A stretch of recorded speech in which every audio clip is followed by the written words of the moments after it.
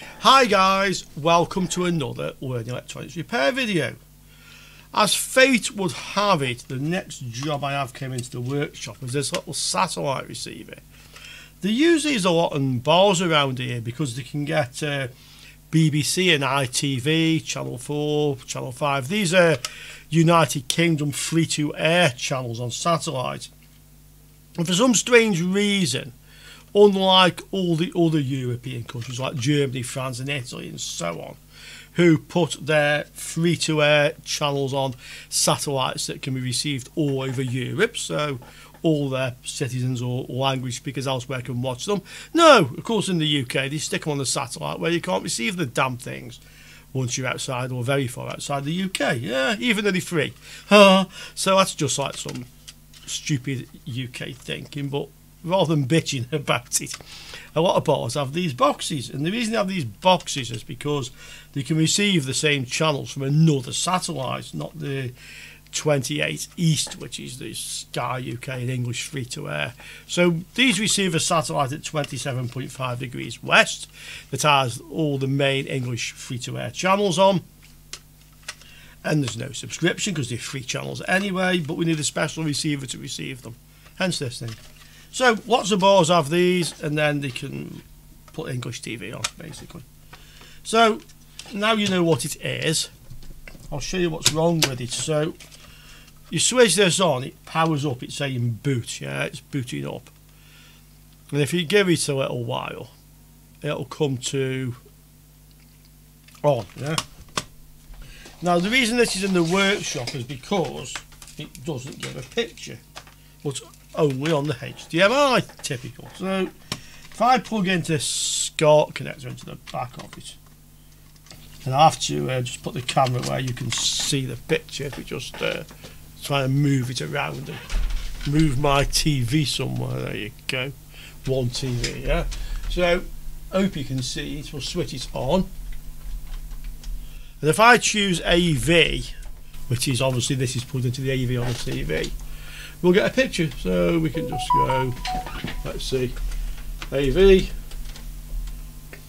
Yeah, same signals week up the top corner there. Yeah, if I if I unplug it, I don't know if you can see it very well. If I unplug it and plug it back in, you'll actually see it boot up with a loading screen.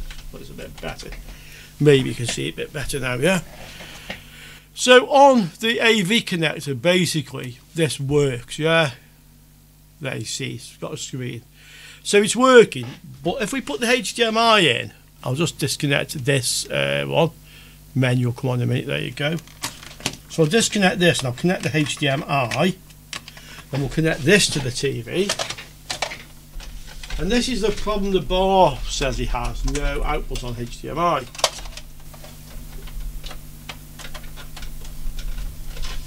Okay, so I'm on HDMI, again we select the source, Okay. And you see we have no picture. So there's no output on HDMI. I'll just plug it back in and let it boot up because it won't work. So that's what's wrong with it. Now, the problem with these receivers, they're a bit hard to get hold of. They've brought out a new version and for some reason the firmware for this satellite doesn't work properly. It doesn't scan the channels properly. So there's a kind of a demand for these old ones, and the guy who owns it, obviously, in the bar would like to have it working. So there we go. I said fate was involved. So after the uh, last job, which is an epic HDMI repair, what have I got? HDMI repair. so there we are. The gods are against me, or they would be if they existed. Yeah. But other than that, now it's just coincidence. Okay, so let's see if we can figure out what's wrong with our satellite receiver and why we have no output on the HDMI. So the first thing I noticed is that it seems a bit loose. But I'm not sure if the entire circuit board is loose or just the socket. So that's the first thing we'll look at. So let's open this up. Opticum uh, HD AX150 by the way is the model. This is the first generation third generation ones that can't get the software working uh, for some reason. Okay. So there we have it. That's what's inside. It's a circuit board. And on the other side of the circuit board, we have some components. As is normal, yeah. There, so that's our thing. So the first thing we need to have a look at is the HDMI connector and see whether or not it has a problem. So I'll zoom down and I'll put the lead into it and let's see if it actually is loose. Okay, we zoomed in so you can see it quite clearly. And I don't think it's loose at all. I think it's just a case, well, it's a little bit, but I don't think that's the problem. I think it's just a case that the board is waggling around a little bit inside it, yeah. I mean, that does move in there. Okay, so there's no obvious problem with the HDMI connector. I do have, I think, this kind of connector here. But let's start with some basic checks then. Let's see if we actually have a connection on all of the pins coming through the HDMI cable. So the usual way then, put a socket on the other end and then check all the pins from one end to the other for continuity. This is not difficult, it's a little bit fiddly. Just figure out which end we start at. You can't see the meter but you'll hear it. Yeah. One and so on. So I'm just going to work all the way along these. Glasses are just falling off then across each one and see if I have continuity. So a little bit laborious, so I'll do it off video. I'll use some magnification and I'll show you if any of them are bad. I didn't find any open circuit connections, but what I do seem to have found is too many connections connecting to ground. So I can just show you, you can see it in here because I did this on the last video. There you go. So HDMI, pin 2 is the shield, that's ground. 5 is a ground, 8 is a ground, 11 is a ground, yeah? And then the only other ground is on 17, you can see it down here. So once we find whichever end pin 2 is, and that's easy, is whichever end the second one in is a ground, that will tell us where pin 2 is, yeah? From this end it's a third one in. So once we find out, we should be able to count them, one, two, three, four, and then five, yeah, all connected to ground. Let's see how many we actually have on our connector. So first of all, we need to find out where pin 2 is. If we go to ground, we'll use the actual metal connection of here.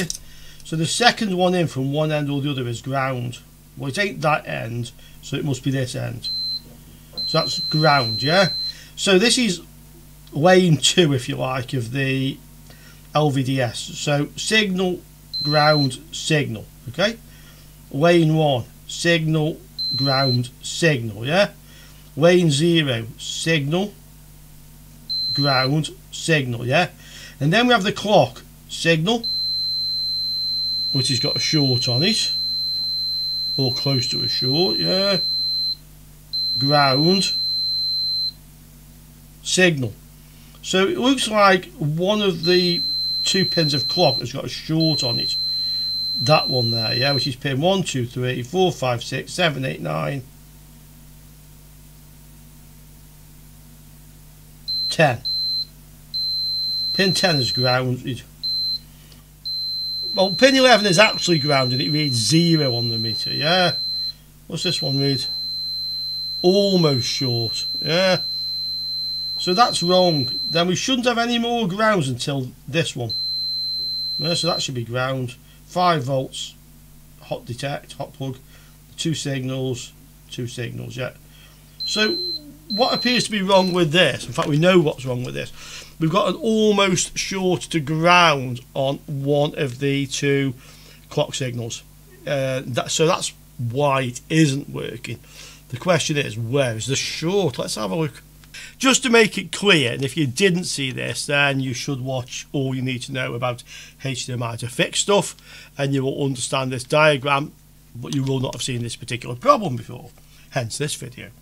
So what I was doing is, I was trying to find which end was pin 1, and I did it by looking at the second pin in from both ends to see which one is connected to ground, and once I find it, I know where I am. Because on 80 there's a 5 volts 50 milliamps. This will never be connected to ground, at least not on a working uh, HDMI port. So once we found this one I was going signal ground signal signal ground signal signal ground signal and then it should be clock ground clock. And this clock is shorted to ground. That one yeah? That's where the short to ground is. That's almost undeniably why it doesn't work yeah? So we have a short from here to ground. I couldn't see any shorts on any of the other ones. There's no point in me testing if the hot plug signal and the rest is working because I need to figure out why I've got a short to ground on this pin so now you've seen the diagram we can follow it quite easily 3 4 5 6 7 9 10 so this is the pin that has a close to short on it. Uh, and it goes, you can see to here, through this connection, and then it goes off this way. So if we have to see where it goes, it actually goes to this component. This is almost, is this, yeah, that must be like a zero ohm link by the looks of it. It reads 3 to ground from both ends. And that then goes down here to this chip. I think it's this one. Yeah. So that's what's generating obviously the signal the clock signal. And it looks to me like the chip itself is faulty. It's that one. Yeah. The only way to prove it it's quite simple is to lift this pin on the chip or even actually probably easiest just to remove this link resistor here and check to see if the short is there. I'm, I'm confident it's in this chip, but we can do that. The chip, I've got the part number there. I doubt I'd find a data sheet for this, but I can certainly have a look, see if any of these numbers actually finds anything. I tried lifting the pin of the chip, but I just couldn't get it to do it. All I could do was bend it a little bit. I didn't have anything fine enough to get under there. So what I've done is instead I've just lifted one end of the resistor. So if you have a look now, we can just check to ground. So this is the end that goes to the chip. And we still have the low resistance there, okay? And we can just go to the other side and it's okay. If we look at all the other signals, they're fine. It's just that one which has the short on it effectively. So we've definitely got a problem with this chip. I'm sure that only only goes to there. I don't think it goes anywhere else underneath it. It wouldn't make sense because this is the clock signal which is LVDS so it wouldn't make sense for anything else to be on that connection to be honest. We can confidently say then that the problem is this chip uh, and I've had a look and I can actually get these, look I just focus it. So it says 3 M3510C then ALCAA so if you have a look on AliExpress, I can actually get these. This is the part on AliExpress. I mean, they're a bit expensive, but I had quoted the guy 45 euros to fix this, and he was quite happy due to the difficulty of getting replacement ones anyway.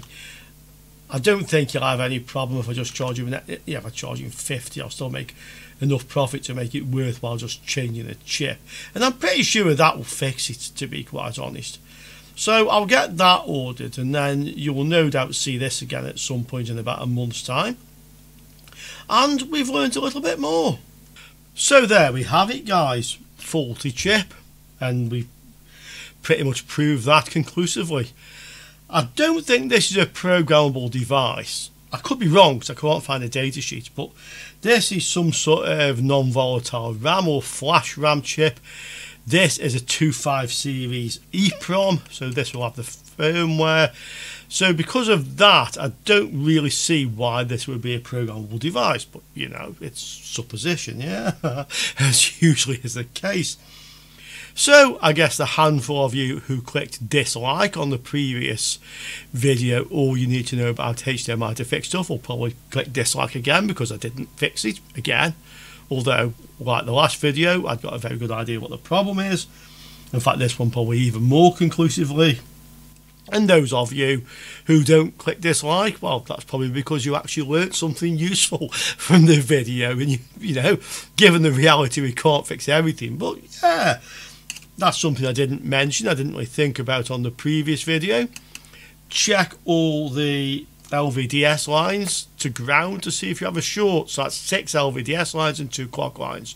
And once you know the order of them, it's quite easy to just go across.